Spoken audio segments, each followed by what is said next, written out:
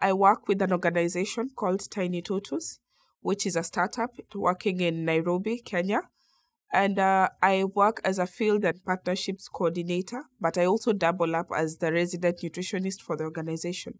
So, uh, what I do in Tiny Totos is uh, I coordinate uh, field activities and manage a team of community health volunteers. These are community members who are trained on various aspects of health. Tiny Totos works with existing informal daycares that are located in slums or informal settlements across Nairobi. So at the moment, we have a network of about 70 daycares. And what we do in these particular daycares is that we work with women to grow their businesses by training them on nutrition, which is my passion, and uh, training them on early childhood development so that every child who's in a daycare that partners with us as Tiny Totos gets an opportunity to get the best start in life and uh, what we do, the approach we use is play, intentional play. So uh, the kids get to learn and prepare for school through the process.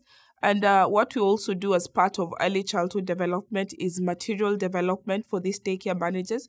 Uh, since they have or they run these daycares in informal settlements, they get an opportunity to learn how to make toys from locally available materials and uh, at the same time, we also train them on business management and record keeping so that one, they're able to track their expenses. Two, they're able to also know how much they're pumping in or how much they need to invest or how much their business has grown.